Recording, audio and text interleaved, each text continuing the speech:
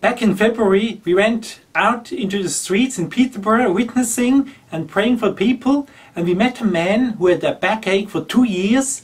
So we prayed for him, and immediately his pain left him, and we witnessed, we told him about Jesus and everything.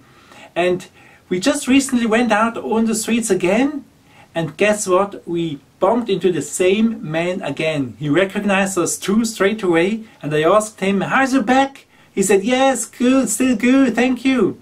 And this time he wanted us to pray for his shoulders and knees, which we did, and it got better. And we explained the gospel to him again, and no doubt he is one step closer to Christ this time than last time. Let's pray for him together and remember him too, please. Thank you. And this is the clip of the incident back in February healed right now. Pain gone in Jesus' name. Now check it out.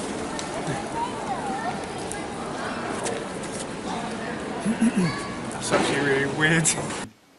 And then I prayed again and it was totally gone. He got up, he checked it out, he did movements which he couldn't do before and was totally gone. He was amazed.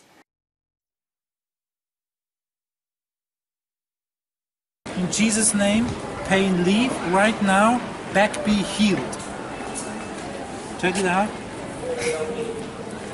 And guess what? He listened to the gospel. I explained to him how Jesus really loved him. That's why he healed him. But he's not only interested in your body, I said. He paid for our sins, but also for our sickness and diseases. You know, and he went to the cross for our sins. Now, the diseases and sickness and pain is just a sign because he loves us to heal. He wants to heal that, but the real big issue is really Jesus went on the cross and he actually died for our sins. This is the most important thing. Because you see, once uh, our body is just temporary.